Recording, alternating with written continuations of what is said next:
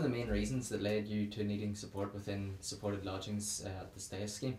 Um, there was like, I got a breakdown with family, and then I went into foster care, and then extended family like pulled me out of foster care, and I didn't really know them that well, so I wasn't comfortable staying with them, so I ended up like running away, and then my social worker found me and asked me if I wanted to stay in supported lodging, so, so that kind of came about. Uh, how did you find out about this type of support?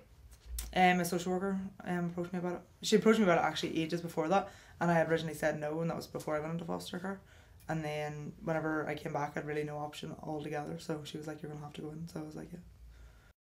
Uh, how did you find living in a house with a different or unfamiliar family? Was it difficult to adjust?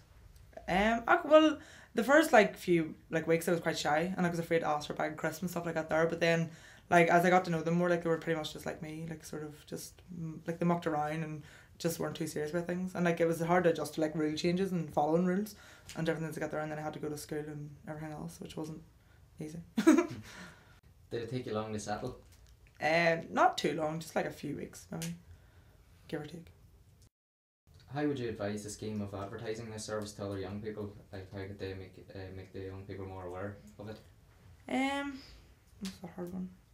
Um, well, there's leaflets and stuff, but like their leaflet, um, Christine had originally shown me their leaflet, and like whenever they showed me, it was kind of dull. it was like a bit of a dull leaflet, like, and um, there was just like some sad girl on it with her hand, like head in her hands, and I was like, you be a bit more lively and like show the nice side of sport lodges. Not that you're all like depressed and have to go into it, like, but and they could advertise it like more brightly, like in sort of maybe like a website, and maybe even get some like advertising on TV or something, or maybe radio or something like that, or like a local radio show or something.